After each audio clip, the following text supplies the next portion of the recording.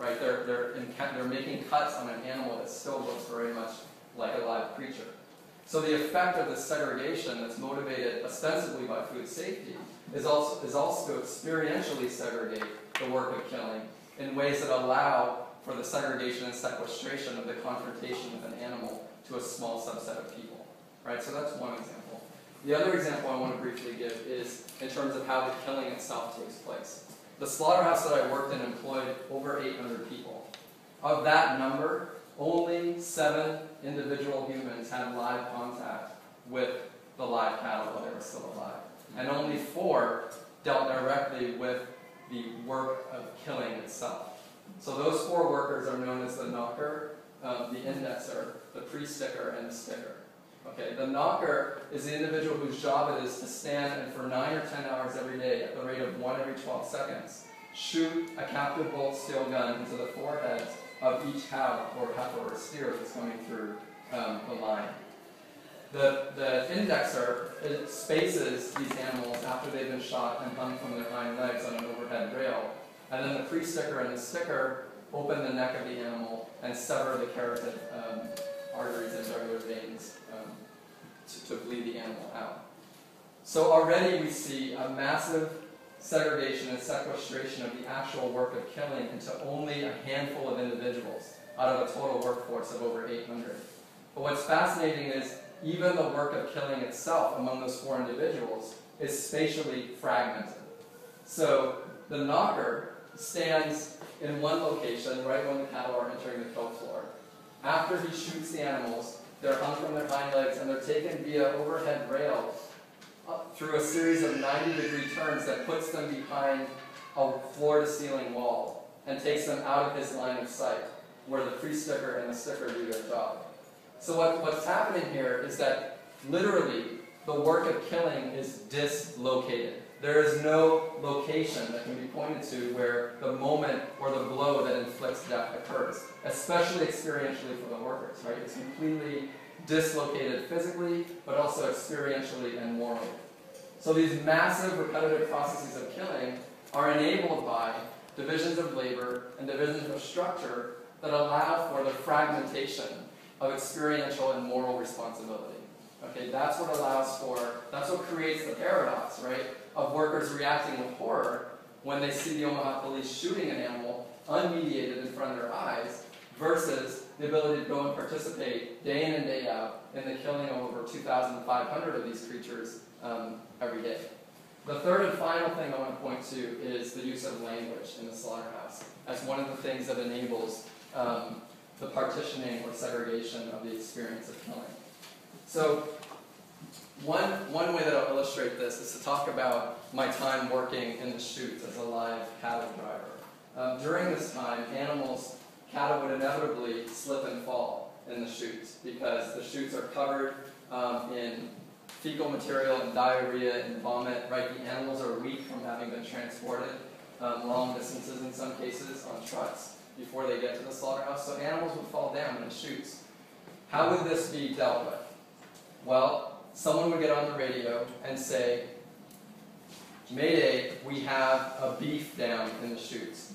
So you already see that even while the animals are still sentient creatures, they're already being conceptualized and thought of and referred to in terms of the end product that they're going to be, right? There's a beef down in the chutes, not there's this particular individual heifer or steer or cow that slipped and fell in the chutes.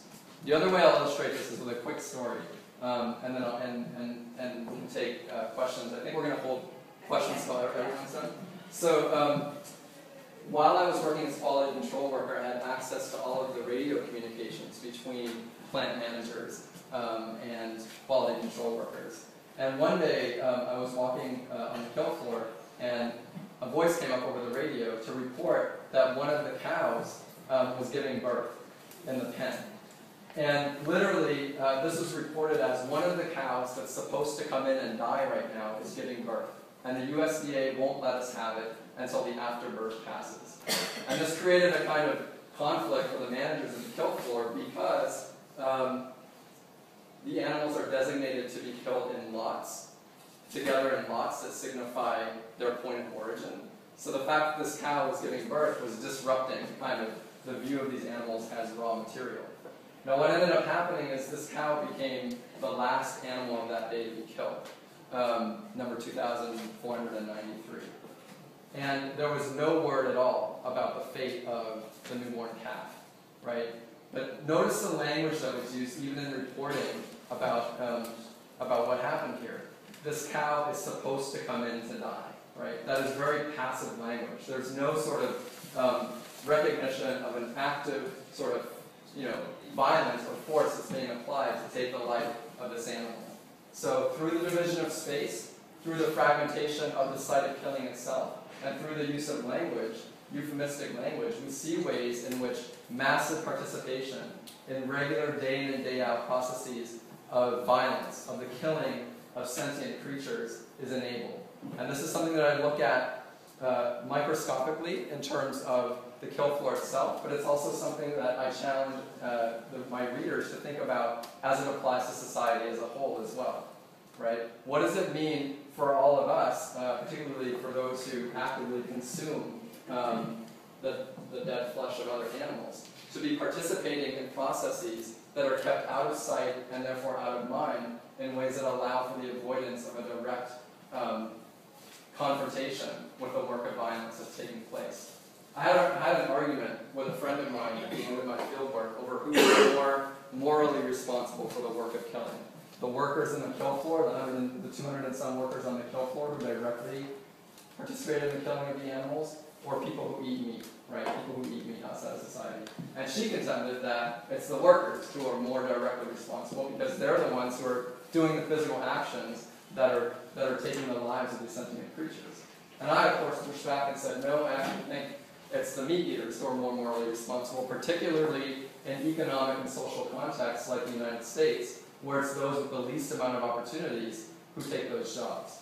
Um, but on further reflection, I actually think this um, kind of obsession or preoccupation with moral responsibility is a kind of deflection.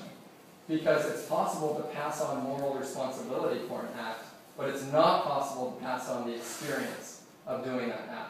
So one of the questions that I want to ask through my work is, what might it mean for us as a society to structure political, social, and collective institutions and arrangements in ways that collapse or narrow the experiential distance rather than expanded it, right? What would happen if some of these things began to be collapsed so that the experience of violent labor isn't something that people could uh, enjoy the products of from afar, but it's something that they would have to see, hear, taste, smell, and touch um, themselves.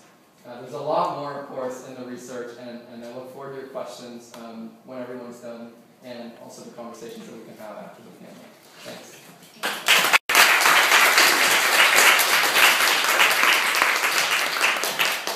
Going alphabetically in the order of how long I've known people, Gary Francione. Um, Thank you. Um, My name is Gary Francione. I teach at Rutgers University in New Jersey. Um, And I've been doing um, this work for going on about 30 years. I'm going to be here for 30 years. Um, In any event, why do we distinguish between the animals that we love and the ones that we stick forks into? I would suggest that we suffer from what I call moral schizophrenia. And I really mean, I mean, I'm using schizophrenia in a literal way. Schizophrenia clinically is a description of delusion, delusional thinking. Um, and I think when it comes to just the fact, just because we're all moral, we all participate in moral schizophrenia when it comes to animals, doesn't make it any less delusional just because all of us are, are participating in it. And, you know, you can rephrase the question, why is it that we all get very, very upset when a guy like Michael Vick engages in dogfighting. Get all upset. But yet, we don't sort of see that we're all Michael Vick. You know, I remember when Vick came out of prison, Michael Vick came out of prison and he signed with the Philadelphia Eagles. I was um, at a gas station, and um, on the other side of the uh, wherever the pumps are, um, this fellow, I was pump, I was getting gas, he was getting gas, and they had just announced today that, that they had Vick signed with the Eagles, and he, He said, so what do you think about Vick signing with the Eagles? Now, that sort of caused me to freeze a little bit because it required that I sort of, I've never seen a football game in my life. So sort of, but, you know, I mean, my ability to male bond with him would be non-existent if he realized that I didn't like competitive sports. So, um, so I said, um, and he said, what do you think about Vick signing with the Eagles? And I said, well, interesting. And he said, you know, he said, I love the Eagles. I love watching football. He said, I don't think I'm ever going to be able to watch those people play play ball again because every time he'll come out on that field, I'll think about what that son of a bitch did with those dogs. So I said, let me ask you a question. I said, you go to those games a lot. He said, oh, I love, love football games. I said, when you're at the football games, what are you doing? Are you eating hot dogs and hamburgers? And He looked at me and said, well, yeah, of course I'm eating hot dogs. He said, I don't like hamburgers. I, I, I love the hot dog. He started telling me about the hot dog. And I said, I said, I. The animals in the hot dog had every bit as much of a hideous life and a hideous death, probably worse than Mike Vick's dog. But isn't it interesting that we all get upset? I mean, you can't go anywhere, you can't mention Michael Vick without people fulminating, foaming at the mouth, getting very upset about what Michael did to his dog. What did he do? Why did what he do was what, what he did was wrong? Because he inflicted suffering and death on animals, and he had no justification other than the fact that he got pleasure out of it. Why do we find that so horrifying? So what? He got pleasure. He enjoyed it. What the hell is wrong with that? Why is that wrong? And the answer is, what a stupid question. It's wrong because we can't morally justify inflicting suffering and death on an animal without a good justification, and amusement and pleasure is not enough. Right? But then the question becomes, okay, if that's true, then why aren't we all vegans? Because there is no difference. I mean, what is our reason